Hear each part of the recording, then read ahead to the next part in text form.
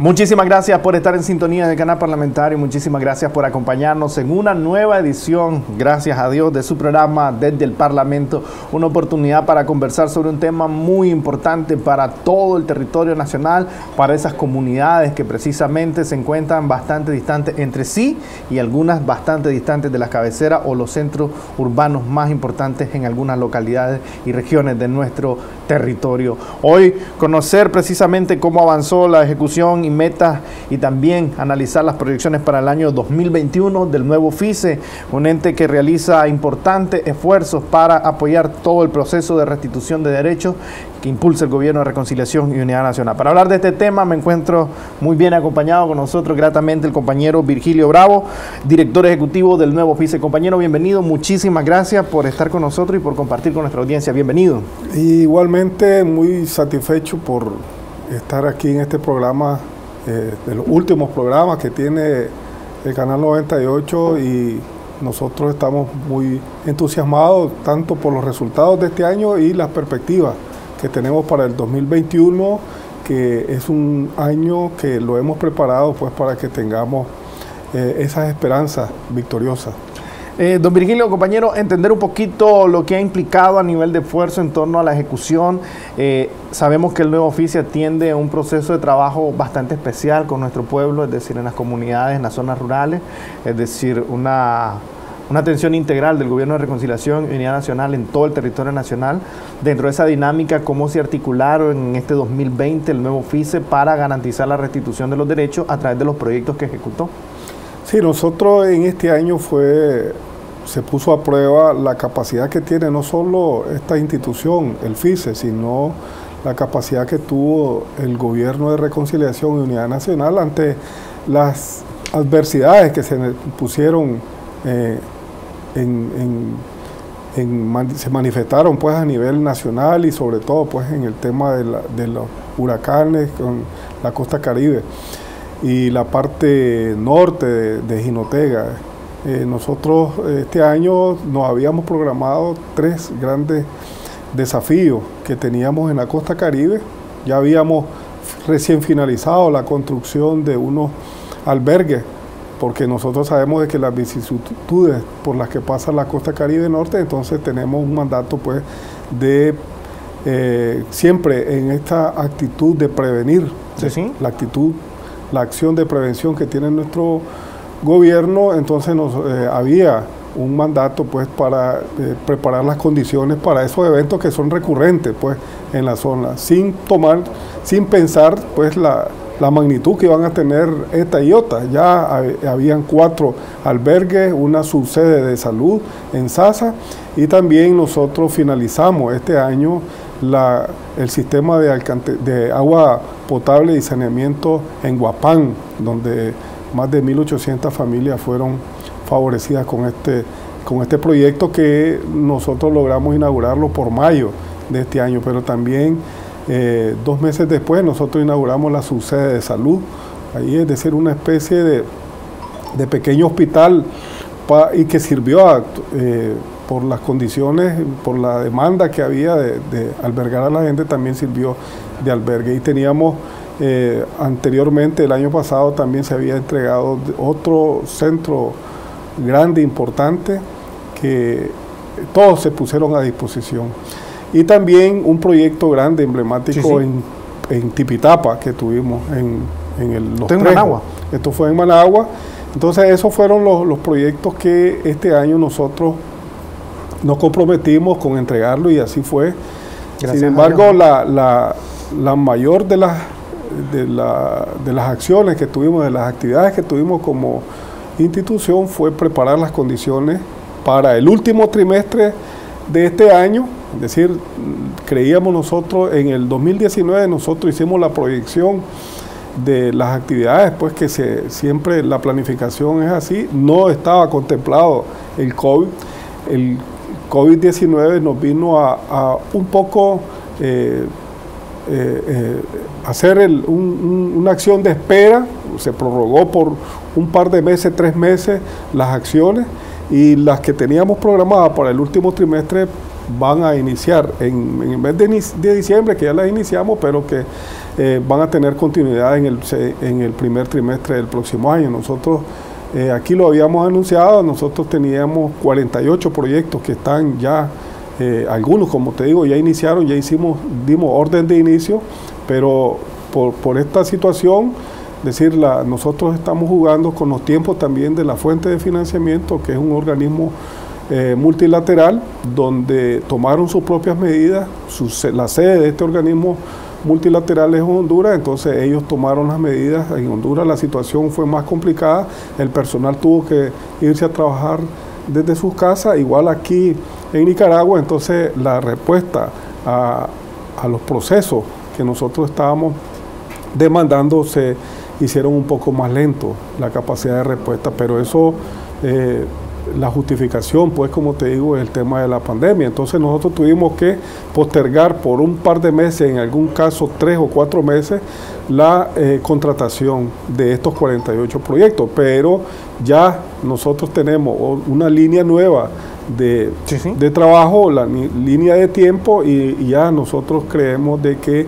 eh, en, el primer, eh, en el tercer trimestre de este año nosotros vamos a estar inaugurando cerca de 29 proyectos, ¿verdad? Entonces, y, todo, como dicen, los tiempos son de Dios, porque Así es. el tercer trimestre también estaba, eh, tenemos las afectaciones climatológicas, es decir, hay mucha lluvia, los proyectos de agua potable, saneamiento e higiene que nosotros llevamos a cabo en las comunidades rurales,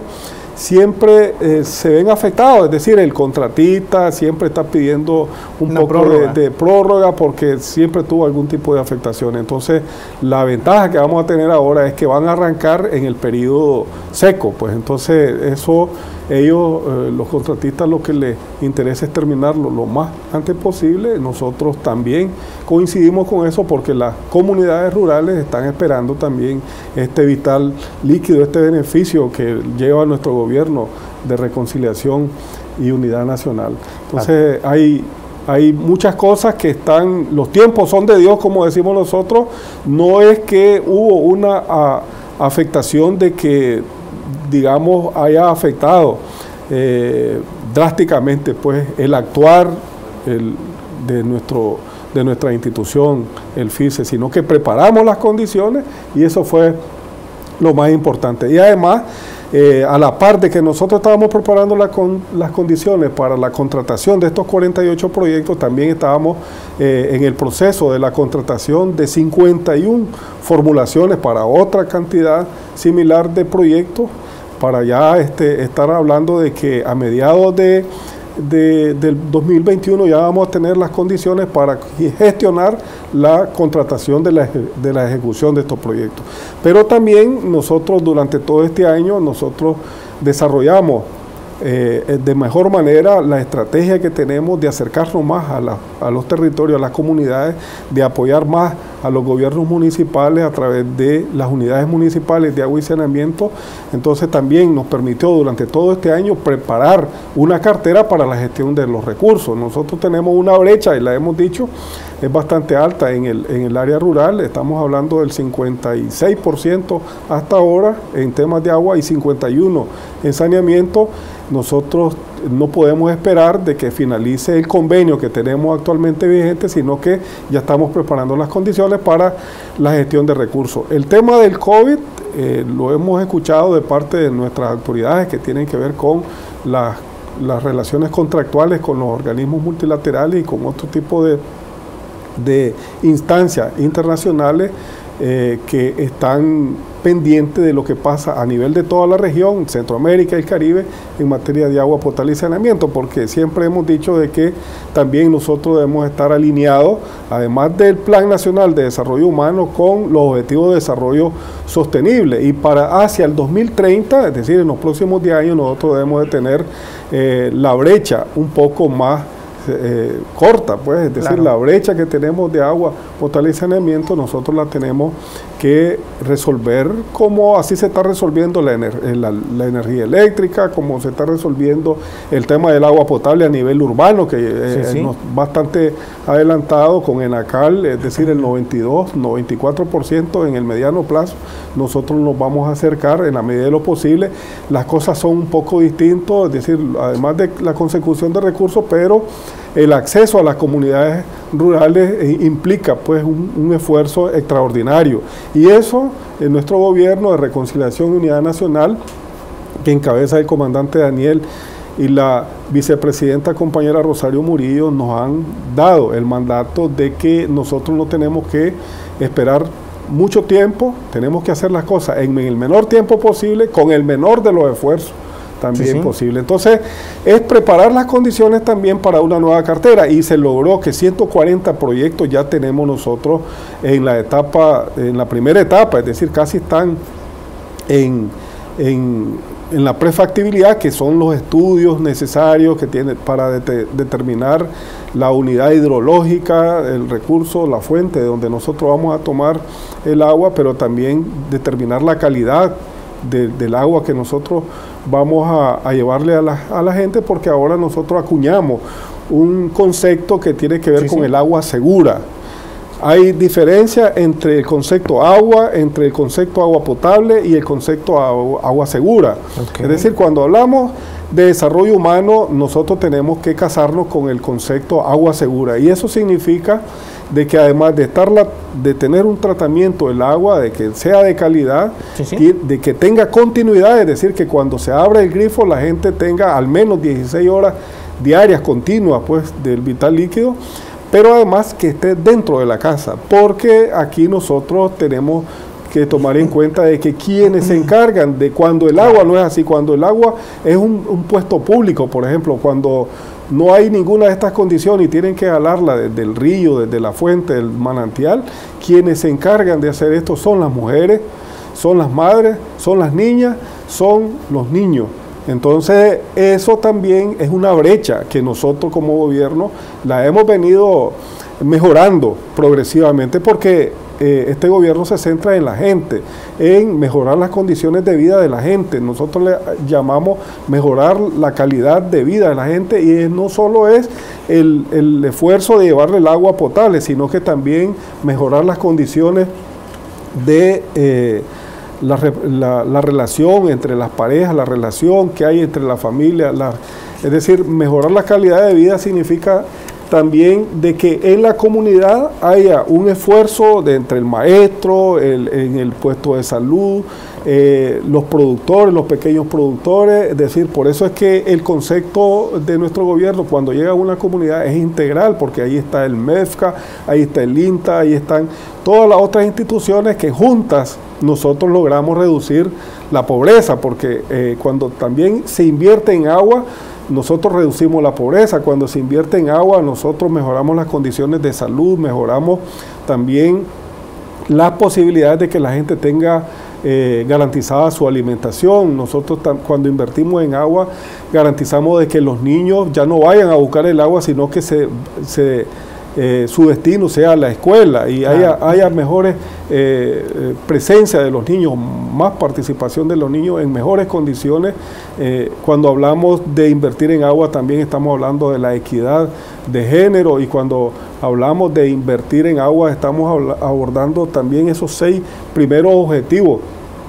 de los, de los del desarrollo sostenible, pero le agregamos el número 10, que fortalece, fortalecemos las instituciones, fortalecemos las alcaldías, fortalecemos la unidad de agua potable y saneamiento, eh, fortalecemos la capacidad organizativa que tiene la comunidad para lograr la sostenibilidad, porque de nada sirve hacer una inversión inicial y en tres años, si no existe un tendido comunitario fuerte, entonces eso se cae. Entonces nosotros proveemos de capacitaciones, capacidades técnicas a la, a la,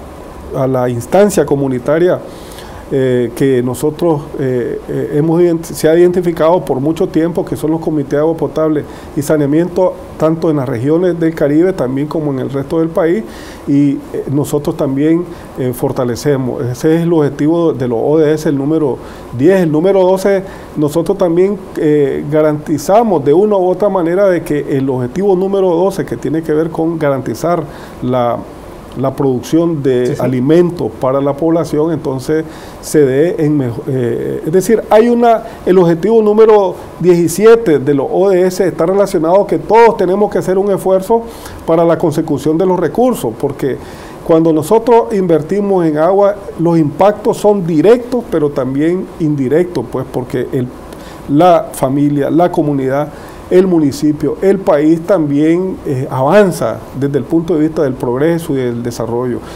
A eso a veces se le llama en una comunidad el avance en la economía local, porque también cuando vos le llevas la energía eléctrica, le llevas el agua potable, eso, ese binomio es un aliciente y, y, es la pauta que tiene la familia, la comunidad, para ya cambiar, emprender, incluso ahí entra el MEFCA con sus iniciativas y, el desarrollo de que con el INATET, que se puedan los jóvenes, con el Ministerio de Educación, que llegue eh, los servicios de educación a la comunidad, pero también ahora que llegue la educación técnica y llegue a la universidad. Entonces, hay muchos elementos y hay una dinámica importantísima en la comunidad, pero el agua eh, además de la educación y la salud del agua, es decir, es el tercer elemento indispensable como necesidades básicas que cuando no están, cuando están insatisfechas, entonces la, población, la gente, no podemos decir de que ha mejorado sus condiciones de vida. Cuando nosotros llevamos a eso, hay un ambiente de satisfacción completa, amplio en la comunidad, lo expresan de manera clara a la gente, eh, es un alivio porque, eh, es decir, a veces la gente no se sabe por qué es que se está enfermando, la gente no sabe que por qué en los gobiernos los tenían abandonados, porque hasta ahora hay, en, este, en todo este periodo, los últimos 12 años, nosotros le hemos, llegamos del 27 al 56, 57%, estamos hablando de que eh, además de lo que te decía, las vicisitudes del acceso y toda esa cosa, es, grande el esfuerzo que se ha hecho en los últimos 12 años con el 30%. Y nosotros eh, hemos tenido diferentes estrategias. La última que te mencionaba es acercar más la institución a la comunidad. Entonces nosotros tenemos un tendido nacional de compañeros y compañeros técnicos eh, capacitados, donde también este, la gente acude a, esto, a la demanda, eh, canalizan a través de estos compañeros la demanda y el gobierno municipal la, la coloca en un orden de prioridad y ahí nosotros, por ejemplo, ya este año logramos que cada uno de los municipios tenga al menos un proyecto. Ya, de los 153 este, municipios. Exactamente. Eh, son 153 municipios, nosotros tenemos que hablar de 150 porque son los municipios que tienen comunidades rurales. Ah, es decir, Ocotal, Corinto y Cornailan no tienen comunidades rurales. Sin embargo, nosotros de una u otra manera estamos articulados con otras instituciones para apoyarlo desde el plano organizativo o a veces la mejora de las de, técnicas de los sistemas que ya están instalados. Entonces es una dinámica completa, como usted decía, la que cuando llevamos, invertimos en agua, porque ese es el énfasis que nosotros llevamos, es decir, invertir en agua, así como también se, se invierte en energía, se invierte en telecomunicaciones, se invierte en la otra dinámica productiva, entonces mejoramos las condiciones de vida de la gente a nivel comunitario, a nivel grupal, pero también a, nivel individual, las mujeres, las madres, los, los niños y las niñas también hay, una, hay un plus, digamos, hay un valor agregado. Además de que eh, con el agua el, el hombre y las mujeres se benefician, pero de sobremanera las mujeres que han, son las que han estado eh, identificadas social y culturalmente para que hagan algunas labores y hagan el uso adecuado de, del agua, pues y el saneamiento lavar, digno, lavar y toda esa cosa. A veces agarran un motete de ropas, pasan todo el día porque no es solo llevarlo a lavar, sino tenderlo, esperar que se seque para porque eso son distancias bastante. Son distancias, entonces ahora que todos lo tienen, porque además nosotros le llevamos el agua, pero le llevamos también un lavadero. eh, y además el lavamano, le, le, creamos las condiciones porque eh, para nosotros no es nuevo el hecho del tema del lavado de manos después de hacer uso de las necesidades fisiológicas o antes de digerir los alimentos, nosotros tenemos también el concepto de lavado de manos bastante antes de que llegara la pandemia. Por eso es que eh, estos conceptos también han sido bien impregnados y, la, y ha tenido una respuesta muy positiva. Compañero Virgilio, tenemos que hacer una pausa. Sé que hay bastante que hablar, gracias a Dios, gracias a todo ese trabajo también realizado durante este año, como ya lo ha descrito usted, con bastantes eh, situaciones especiales. Hacemos una breve pausa y ya volvemos.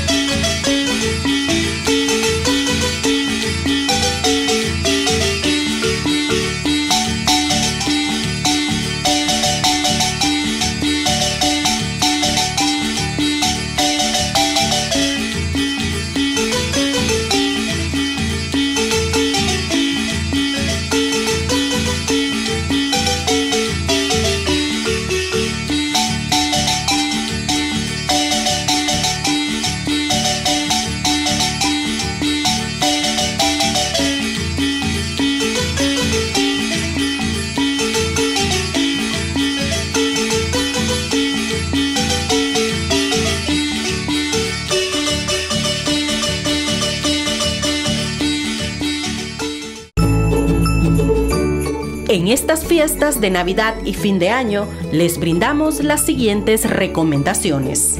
Evitemos que niños, niñas y personas en estado de ebriedad manipulen pólvora. No guarden en sus bolsillos artefactos pirotécnicos porque representa un peligro para nuestra integridad física. No encender la pólvora dentro de las viviendas ni guardarla cerca de espacios de alta temperatura como la cocina en los espacios donde se realicen actividades como juegos pirotécnicos, ubicarse en lugares más seguros para apreciar el espectáculo y evitar accidentes. Que la magia de estas fiestas no termine por el estallido de un artefacto pirotécnico. Vivamos y recordemos unas fiestas en paz y tranquilidad. Este es un mensaje de la Asamblea Nacional y el canal parlamentario.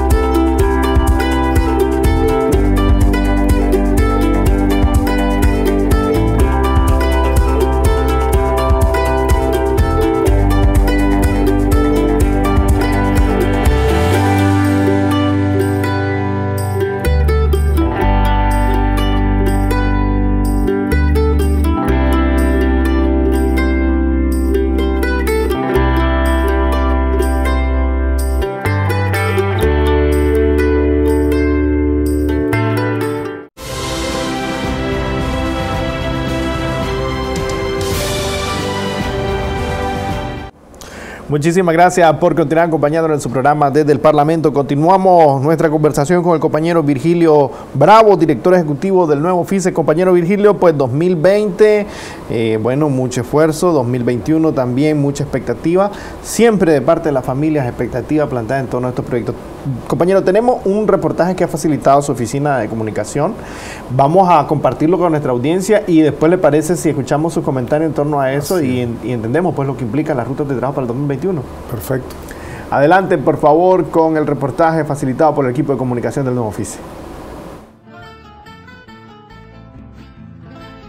En Insurrección de la Esperanza, por amor a las familias nicaragüenses, el Gobierno de Reconciliación y Unidad Nacional que dirige el presidente Daniel Ortega y la vicepresidenta Rosario Murillo a través del FICE, inauguró en 2020 importantes proyectos de agua potable, saneamiento e infraestructura social. Por ejemplo, en la comunidad de Los Trejos, en el municipio de Tipitapa, el que consiste en el mejoramiento del sistema de agua potable y la construcción de soluciones de saneamiento y lavamanos.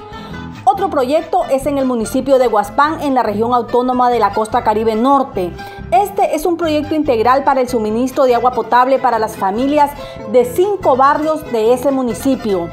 Otro proyecto es una subsede de salud en la comunidad Sasa, en el municipio de Bilwi, en el Caribe Norte, con la que se le garantiza el derecho a una mejor atención en salud a más de 36 mil habitantes originarios de 36 comunidades de este lugar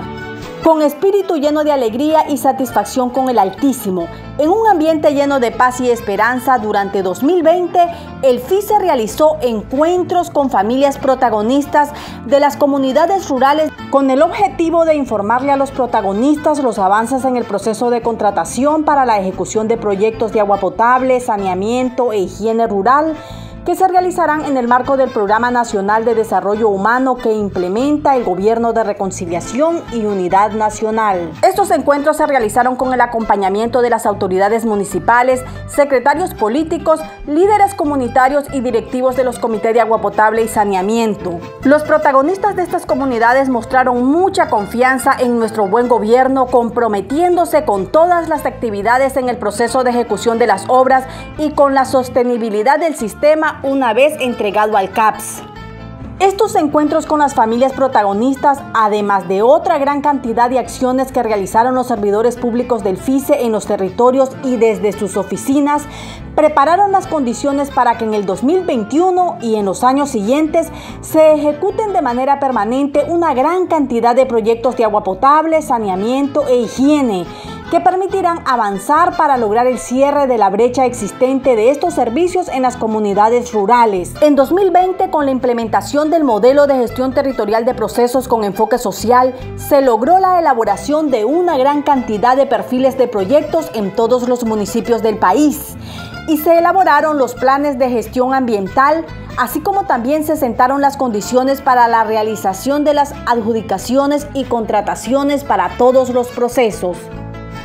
a pesar de que veníamos con algunas dificultades en los años anteriores en los procesos por el intento de golpe que hizo que los bancos fundamentalmente cambiaran la dinámica de trabajo y eso dificultó un poco el hecho que los contratistas pudieran cumplir con el requisito relacionado a la garantía, empezamos el año con optimismo. Eh, bueno,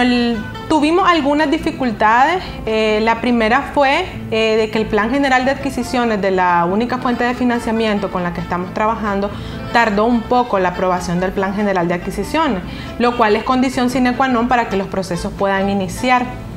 Y posteriormente tuvimos el tema de la pandemia, ¿verdad? Que fue algo que no estábamos esperando y pues hubo la coincidencia que el 80% de los procesos que desarrollamos eh, durante este año, el cierre coincidió con el pico de la pandemia, lo que hizo que varios procesos de contratación no recibieran ofertas. Eh, porque los procesos se caen a veces porque recibí ofertas, pero, pero tal vez los oferentes no cumplen, pero en este caso fueron declarados desiertos porque no recibimos ofertas. De igual forma, eh, nosotros como FICE no, no paramos de trabajar e incluso la fuente de financiamiento tampoco.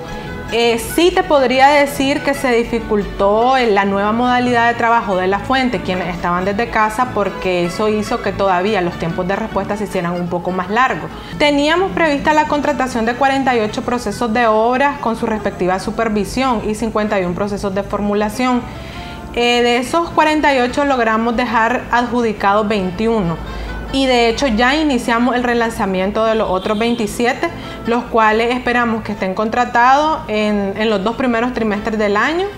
eh, varía dependiendo de la modalidad de contratación. Hay unos que van a quedar contratados en el primer trimestre y otros en el segundo trimestre. Como parte de las estrategias para asegurar las inversiones en agua y saneamiento en las comunidades rurales del país, en el presente año se ha finalizado la implementación del modelo desconcentrado de atención territorial con enfoque social en los municipios de los 14 departamentos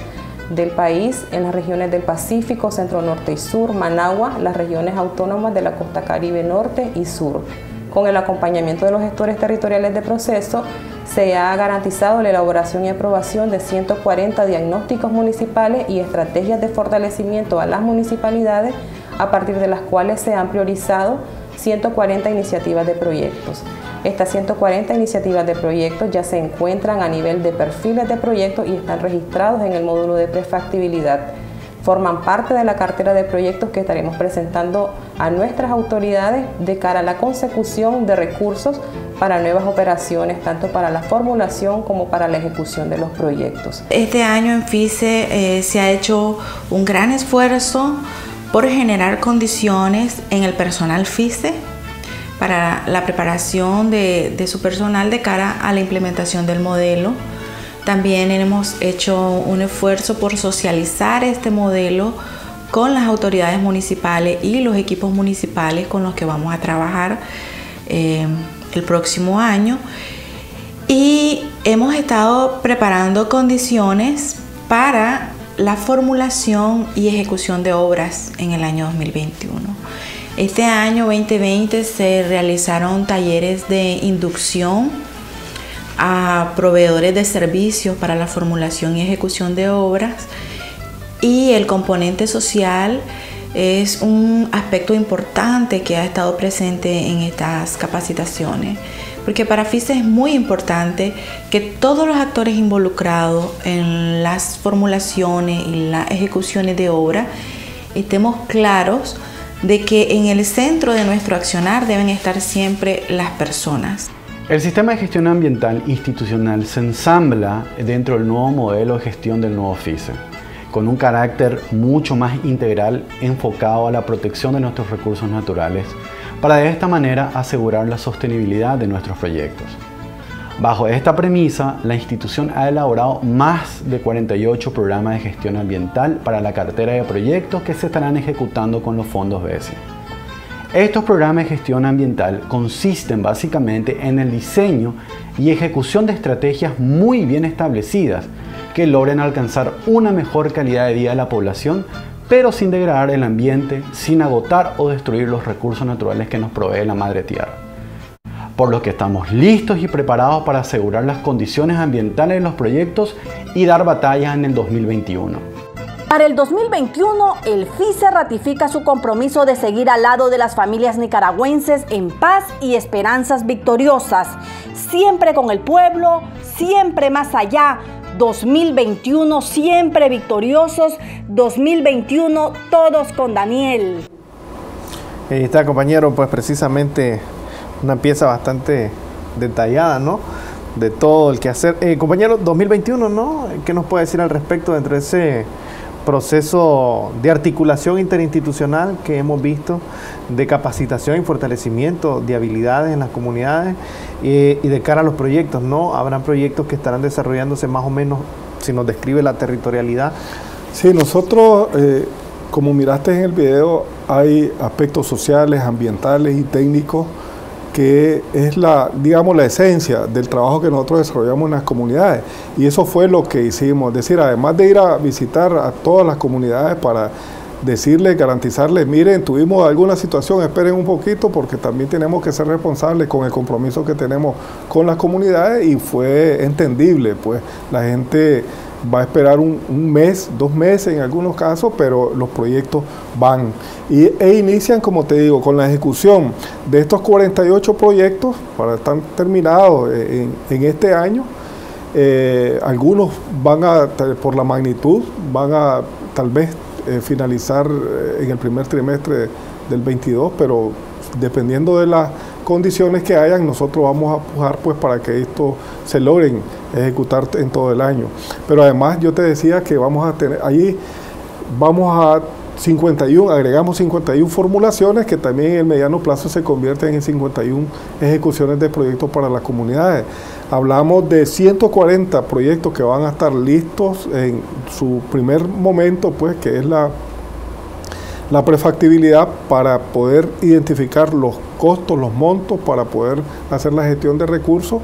y también agregamos un nuevo concepto que le llamamos macro localización de comunidades. Antes por cada comunidad nosotros identificábamos un proyecto, una solución para esa comunidad y si esa comunidad eh, estaba, tenía que estar en un municipio determinado. Entonces ahora ampliamos, ahora el referente ya no es la comunidad ni el municipio, sino que es la fuente hídrica, la unidad hidrológica. Es decir, si hay un río, una fuente superficial en un lugar donde confluyen tres municipios y hay como hay algunas entre 6 y 10 comunidades, eso se convierte ahora en un proyecto, vamos a hacer el esfuerzo para impactar en varias comunidades con menos recursos, con un sistema de tratamiento único, un solo proyecto, proceso de gestión único, es decir, no vamos a tener, si son 10 comunidades, 10, procesos, 10 CAPS, 10, 10, un andamiaje por cada una de estas cosas. Ahora la, la, idea es, si queremos nosotros llegar hacia el 2030 con, con más, más rápido, entonces tenemos que buscar una estrategia distinta. Y esa estrategia es lo que le llamamos nosotros el modelo territorial de gestión, el, el modelo de gestión territorial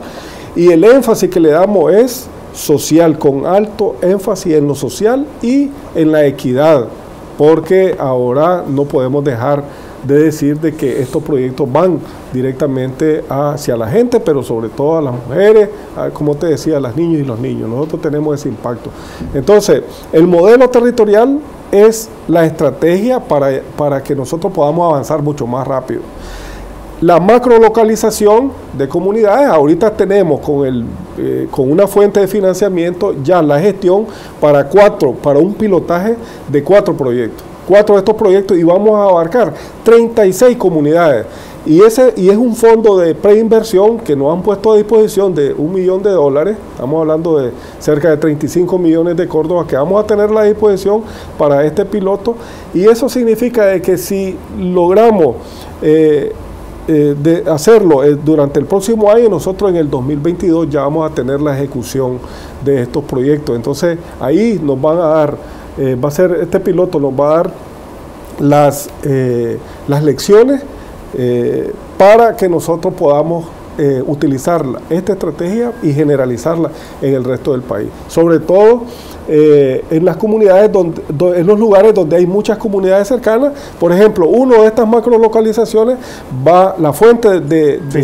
del agua va a ser el lago de Nicaragua, porque está al lado de Morrito. Es decir, ahí en Morrito identificamos estas estas comunidades y entonces vamos a tener el lago de Nicaragua porque ya hay algunas experiencias como en el mismo Morrito el agua potable urbano es de, lago. En Huigalpa tenemos de lago, eh, es decir, en Granada va, va a haber una experiencia similar donde vamos a hacer eh, uso del vital líquido que tenemos, que tenemos bastante nosotros aquí en Nicaragua. Entonces, nosotros tenemos el 2021 eh, muchos proyectos por ejecutar, pero también muchos eh, ideas de proyectos para la gestión de recursos. Antes nosotros hacíamos la gestión de los recursos para todo el ciclo del proyecto, es decir, y incluíamos la formulación en el mismo convenio y la ejecución y la obra. Ahora estamos haciéndolo por separado. Estos recursos de preinversión y después gestionamos los fondos para la ejecución. Dos momentos distintos, pero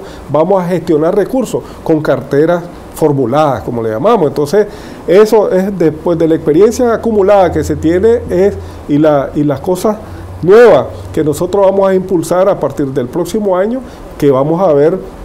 en el mediano plazo pues los resultados. Creemos nosotros por los cálculos y por la experiencia que van a ser muy satisfactorios para las comunidades y entonces aquí ya le adelantamos pues con estos proyectos de las macrolocalizaciones como una estrategia similar a lo que hace Enacal. Enacal en un proyecto atiende, qué sé yo, de 30 millones de dólares, atiende toda una población y hay eh, el enfoque integral, agua, saneamiento, y tratamiento, alcantarillado sanitario, con los enfoques estos condominiales. Es decir, eso nosotros también lo estamos llevando, lo vamos a llevar eh, con el concurso, no solo de la participación de nuestro gobierno, porque nuestro gobierno ha abierto las puertas a muchos organismos no gubernamentales que están dispuestos a alinearse al Programa Nacional de Desarrollo Humano. Y van a hacer inversiones también en eh, investigaciones de, tecnológicas para el tema del saneamiento y la higiene, pero también algunas opciones distintas de cómo llevar el agua, pues con estos sistemas condominiales, por ejemplo, ya tuvimos una experiencia en el, en el CUA y también en el TUMA, la ALIA, y eso eh, lo vamos a replicar donde sea necesario. Es decir, la, eh, esas son las esperanzas victoriosas que le llamamos. Es decir, nosotros no solo es decirle a la gente, miren, ahí van a ver estas posibilidades, no, nosotros eh, allanamos el camino sobre algo real, sobre algo concreto, algo de que lo tenemos pensado, pero además con cálculo, con, eh, con compromiso incluso de la fuente, los organismos internacionales de que han estado también con nosotros eh, apoyándonos, acompañándonos y al final pues nuestro gobierno es el que toma eh, las decisiones por qué rumbo. Ya lo dijo este año nuestro gobierno a través del compañero Iván Acosta de que con el tema del COVID, el agua potable a nivel rural es una prioridad número, número uno. Es decir, nosotros ya tenemos casi resuelto eh, la, cobertura en salud, la cobertura en educación, entonces ahora nos hace falta la cobertura eh, en eh, agua potable y saneamiento e higiene en el área rural. Entonces, eso es un peso específico de, en el tema de la responsabilidad como institución que tenemos y para eso nosotros ya tenemos lo suficiente eh, capacidades, ya tenemos la experiencia, tenemos el compromiso de, eh, de los organismos multilaterales e incluso organismos bilaterales, pero también las instancias como la RASNIC, que es la Red Nacional de Agua Potable y Saneamiento, que son muchas ONG, estamos hablando de más de 20 ONG, de que también están haciendo lo suyo, pero alineado al Programa Nacional de Desarrollo Humano. No se puede estar haciendo acciones al margen de esto. Nosotros,